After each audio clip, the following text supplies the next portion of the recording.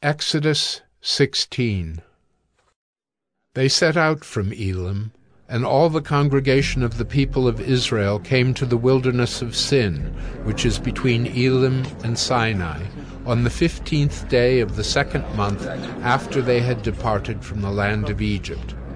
And the whole congregation of the people of Israel grumbled against Moses and Aaron in the wilderness.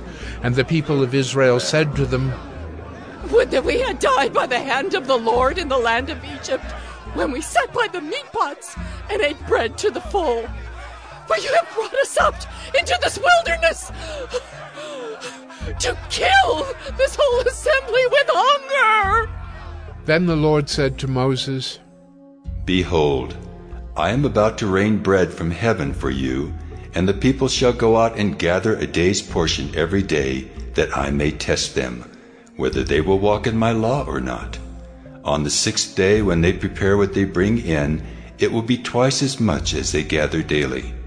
So Moses and Aaron said to all the people of Israel, At evening you shall know that it was the Lord who brought you out of the land of Egypt.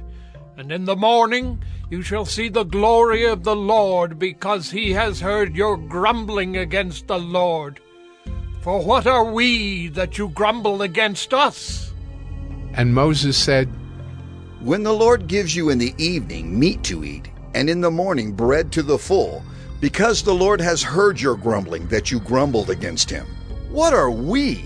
Your grumbling is not against us, but against the Lord.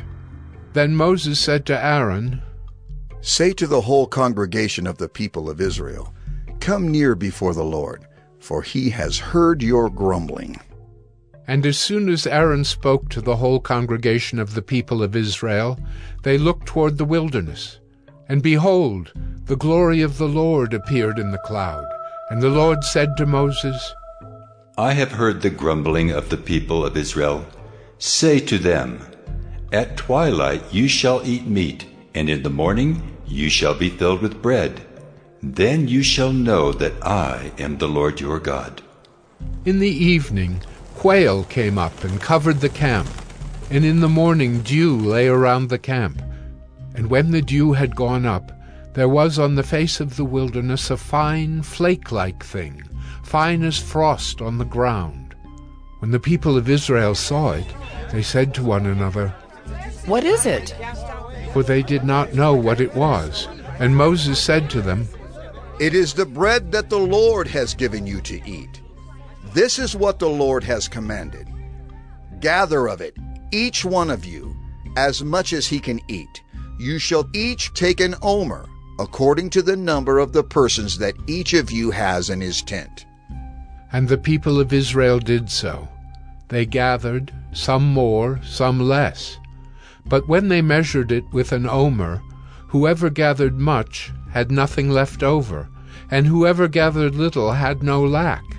Each of them gathered as much as he could eat.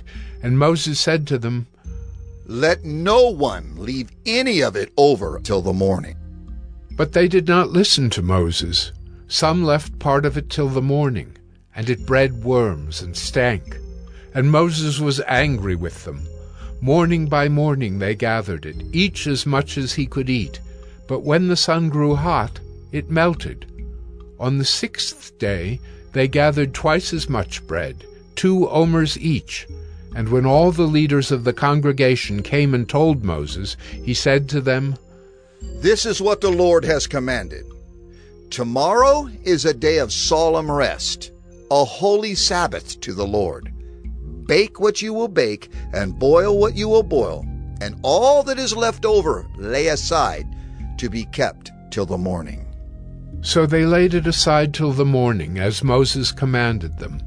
And it did not stink, and there were no worms in it. Moses said, Eat it today, for today is a Sabbath to the Lord. Today you will not find it in the field. Six days you shall gather it, but on the seventh day, which is a Sabbath, there will be none. On the seventh day some of the people went out to gather, but they found none. And the Lord said to Moses, How long will you refuse to keep my commandments and my laws? See, The Lord has given you the Sabbath. Therefore on the sixth day he gives you bread for two days. Remain each of you in his place. Let no one go out of his place on the seventh day.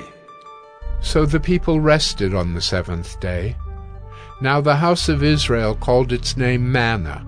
It was like coriander seed, white, and the taste of it was like wafers made with honey. Moses said, This is what the Lord has commanded.